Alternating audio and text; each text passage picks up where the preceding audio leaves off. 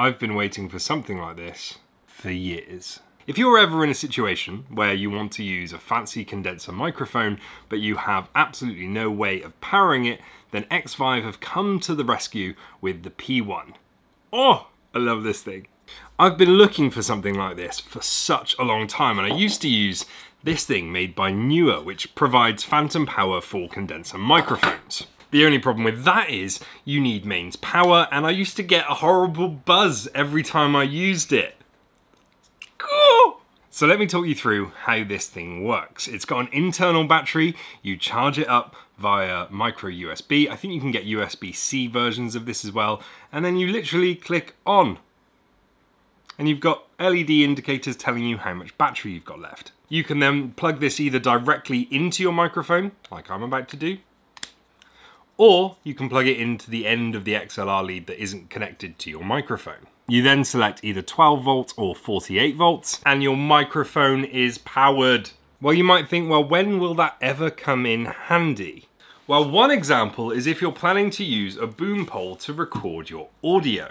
I've got a shoot coming up later this month and it means I can use my Rode Wireless Go with a condenser microphone. So I no longer have to have leads running off and all over the set when I'm trying to record. Just so you can see how this works, I've got this lead. Uh, this lead isn't necessary, you can use this adapter instead. I've got one coming, but it's not gonna arrive till Thursday, and I was just really excited about making this video. So I've plugged the 3.5 millimeter end into the Rode Wireless Go. I've got the XLR end, which I can plug into the P1. And now you can see I've got an audio level coming straight through to the Rode Wireless Go. This means whoever's running around with the boom pole isn't going to trip anyone up, isn't going to get tangled in their own wires, and it's actually going to reduce the weight quite a bit of the boom. And the way I'm going to be capturing the audio is with this Tascam, which has two outputs. So there'll be a feed for me, I'll be able to hear exactly what's happening and I'll be able to tell the sound recordist that I want the microphone a little bit closer to their mouths or it's in the shot. But also, because of the two outputs, I'm going to use a separate wireless microphone system to send a feed back to the sound recordist. Ah! Literally a small filmmaker's dream. Okay, so I'm literally just hand holding this microphone at the moment, just so you can tell whether there's any interference. Um, this is the Murphac NP10 microphone. I love this microphone, but I can literally just walk around with a shotgun microphone. I can walk over here, I can walk over there, and I can walk back to the microphone. And because of the Rode Wireless Go 2's range, I can go pretty much anywhere I want. Now another use for this is it means that you could put a big condenser microphone directly on top of your camera and still have it powered. If you're using a small mirrorless camera, then something like this would have been your only option.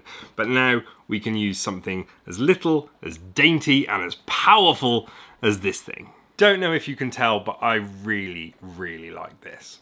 I've said in the past that I'm not going to be posting reviews on this channel of items that I don't truly think are excellent. And this thing is excellent. And it's only 60 quid. That's a bargain. I'll put a link in the video description. So this is just a preliminary introduction to this product. In a couple of weeks, I've got a week-long shoot coming up where we're making four short films. And we're gonna have a dedicated sound recorder, so I'm gonna show you some behind-the-scenes footage of just how well this thing works.